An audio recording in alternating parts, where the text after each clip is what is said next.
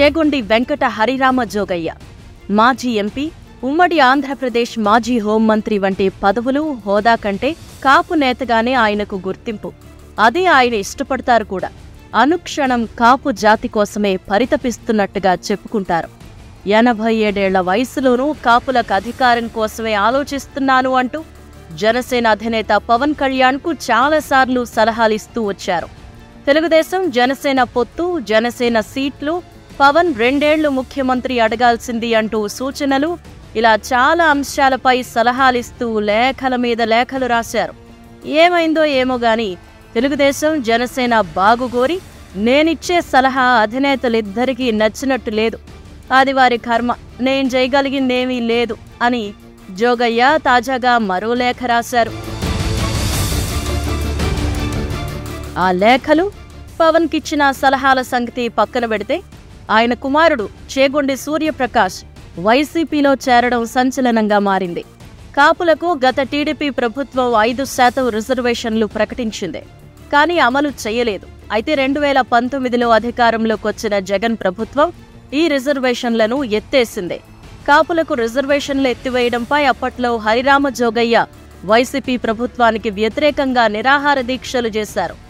ఇప్పుడు అలాంటి వైసీపీలోకి ఆయన కుమారుడు చేగొండి సూర్యప్రకాష్ చేరడం చర్చనీయాంశంగా మారింది. కాపుల ఐక్యత గురించి కాపుల రిజర్వేషన్ల గురించి నేతలకు సలహాలు సూచనలు ఇచ్చే హరిరామ జోగయ్య వైసీపీలో చేరమని కుమారుడికి ఆయనే సలహా ఇచ్చారా అని సామాజిక మాధ్యమాల్లో చర్చ జరుగుతోంది. ఆంధ్రప్రదేశ్ ప్రభుత్వానికి కాపు రిజర్వేషన్ల అమలుపై గతంలో చేగొండి హరిరామ జోగయ్య డెడ్లైన్ విధించారు. కాపులకు ఐదు శాతం రిజర్వేషన్లు వెంటనే అమలు చేయాలని ఆయన డిమాండ్ చేశారు. తాను ప్రాణత్యాగం చేసైనా కాపులకు రిజర్వేషన్లు సాధించుకుని తీరతానని ప్రకటనలు గుప్పించారు. రెండు వేల ఇరవై ఒకటిలో కాపు సంక్షేమ సేన ఏర్పాటు చేసి రిజర్వేషన్ల కోసం ఉద్యమిస్తున్నామని వివరించారు. కాపు రిజర్వేషన్ల అంశంలో తమకు సహకరించాలి అని కాపు సామాజిక వర్గానికి చెందిన మంత్రులు ఎమ్మెల్యేలకు ఉత్తరాలు రాశారు. రిజర్వేషన్లు పొందడం తమ హక్కు అని కాపులకు పిలుపునిచ్చారు. కొద్దికాలంగా కాపు జాతి రిజర్వేషన్ల గురించి ప్రభుత్వాలకు మంత్రులకు నేతలకు లేఖలు రాసే హరిరామ జోగయ్య అధికారంలో ఉన్న సమయంలో కాపుల గురించి ఏనాడు పట్టించుకోలేదు అనే అపవాదు ఉంది.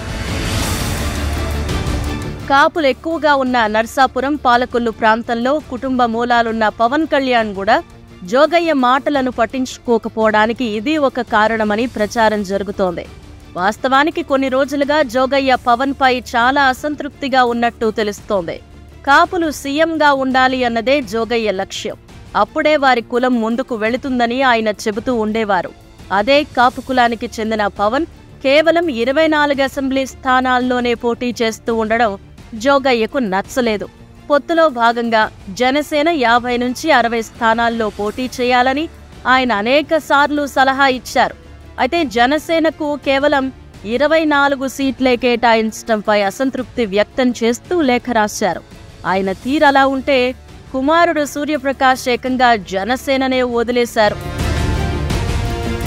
ప్రస్తుతం దాదాపు ఎనభై ఆరేళ్ళ వయసులో ఉన్న జోగయ్య గతంలో మంత్రిగా ఎంపీగా కూడా పనిచేశారు. వయసు రీత్యా జోగయ్య ప్రస్తుతం బయట తిరిగే పరిస్థితి లేదు. అలాగే ఆయననెవరూ కలవడం లేదు కూడా. కాపు సంఘాలు గాని కాపు సామాజిక వర్గంలో ప్రముఖులు గాని ఆయనను కలవడం లేదు. ఆయన సలహాలు కోరుతున్నవారు తక్కువే. ఎందుకంటే ఈయన ఎవరితోనూ ఏ సంస్థలో కూడా ఇమడలేరు అని ఆరోపణలున్నాయి. ఎక్కడున్నా తన మాటే నెగ్గాలనే పట్టుదల వల్లే చాలామంది ఈయనకి దూరంగా ఉంటారని ప్రచారంలో ఉంది. అలాంటి జోగయ్య హఠాత్తుగా తెలుగుదేశం పార్టీతో కూడా పొత్తు పెట్టుకోవాలని పవన్కు సూచించారు. ఎన్నో సూచనలు చేశారు. అవేవీ పవన్ పట్టించుకోలేదు. టీడీపీతో పొత్తు పెట్టుకున్నా అది పవన్ వ్యక్తిగతమే. ఇప్పుడు హరిరామ జోగయ్య కుమారుడు వైసీపీలో చేరడం ద్వారా ఆయన కూడా తండ్రి మాట వినే పరిస్థితి లేదన్న ప్రచారం జరుగుతోంది. వాస్తవానికి ప్రభుత్వ చర్యలతో వైసీపీకి కాపు సామాజిక వర్గం దూరమైందన్న టాక్ నడుస్తోంది. గత ప్రభుత్వం ఇచ్చిన రిజర్వేషన్లు రద్దు చేసి నాలుగు సంవత్సరాలు రిజర్వేషన్ ఫలాలను దూరం చేసిన జగన్పై మెజారిటీ కాపు సామాజిక వర్గం ప్రజల ఆగ్రహంతో ఉన్నారు.